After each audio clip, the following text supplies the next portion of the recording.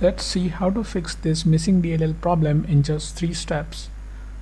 So in the step one we have to open this page. The page link is provided in the description. So this has got download button. So we'll click on download button and the file will get downloaded. We have to save this file somewhere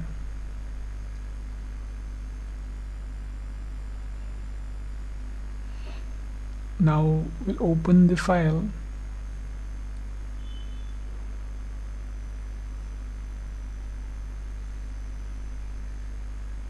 Now we have to copy this file. Right click on it and select copy. Then we'll move to the next step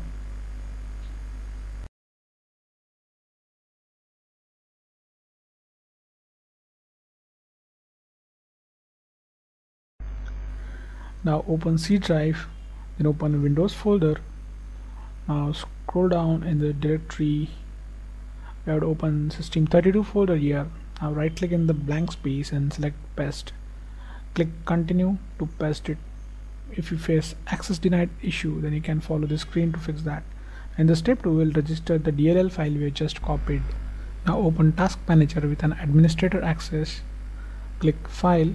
Select run new task then click on browse button. Now open C drive again. Open Windows folder.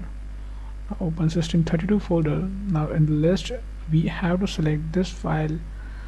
Um, cm uh, cmd.exe click ok. Select this checkbox and click ok. Now this will open in administrator mode. Just maximize the screen. We have to execute three commands here so first is going to be check disk. Now um, execute this and uh, type y.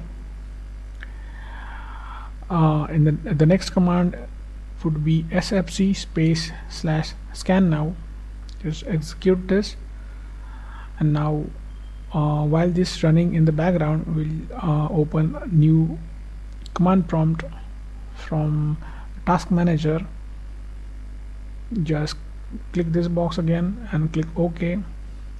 Now just we'll just keep this uh, window side by side.